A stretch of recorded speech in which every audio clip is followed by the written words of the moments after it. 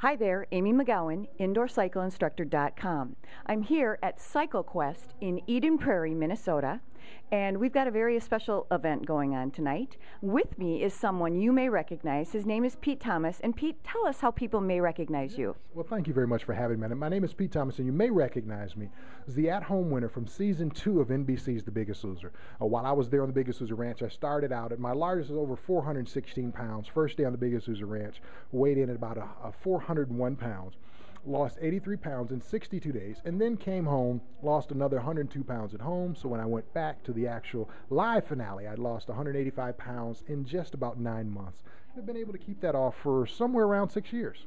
And you won some money doing that. Yes, it was a good day. It was a good day uh, in the neighborhood. You know, it was a good day okay. in the neighborhood. I lost. Uh, I won over $100,000 on that day. All right. And take a look at this guy, John. Well, I'm trying to get all you guys. You look great. Thank you very much. Yeah. I appreciate it. Thank you. Question for you. On The Biggest Loser, um, you work out a lot. Yes. Yeah, absolutely. We worked out on my season, worked out about four hours a day, typically high intensity between 85 to 95% of our maximum heart rate. We shot for that every single time we worked out. Now, subsequent seasons, they work out more hours, but at lower intensities. They work out up to eight hours a day, but the intensities are lower. So, yes, you can, it, it's, we worked out very hard, absolutely. Okay.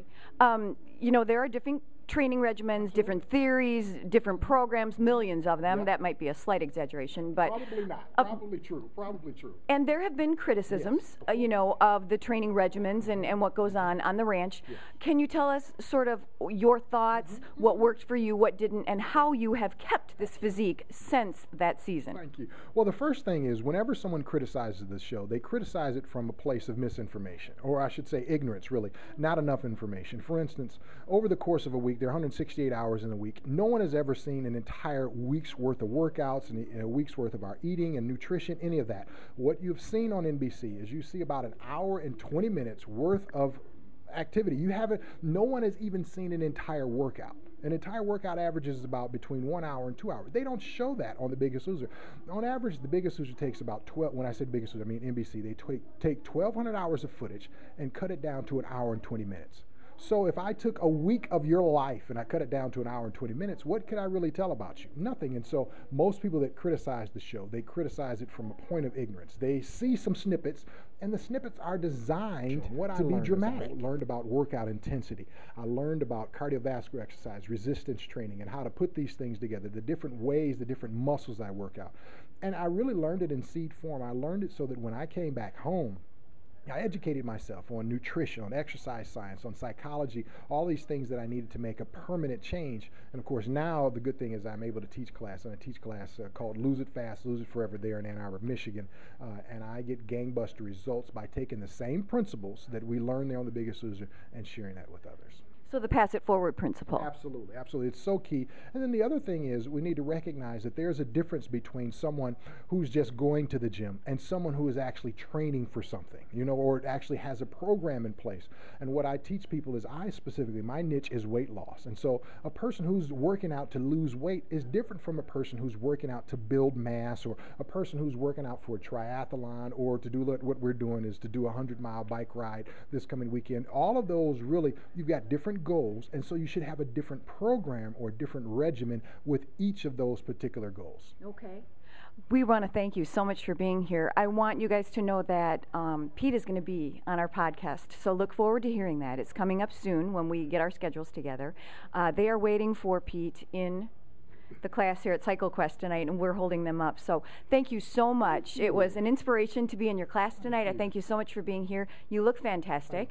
And this is some long-term weight loss, guys, um, thanks to NBC and the biggest 2005, Lance Armstrong was actually born for one of his Tour de France wins. And uh, I would watch the Tour de France on some network, and I would watch and I'd pick up things. So it's interesting to watch, of course, their cadence count. What professionals have about 90 to 100, 90 to 100, yeah. 90 to 100 a minute. I learned this in 05 because when I was at home, you know, a lot of bike riding. I'd ride my bike to the gym and go work out. And I learned things, you know, just about Lance's incredible lung capacity.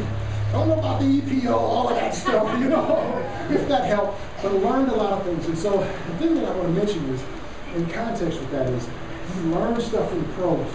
but you apply to your own personal life. And so I can remember. It's been one minute. Seated, don't change the resistance. Don't change the resistance. So what I would notice is, you know, that when he would cycle to keep that cadence up, he would have a, a certain downstroke, and in my mind I would just go tap, tap, tap, tap, because he had to keep a certain cadence. Obviously, we'll take a look at that.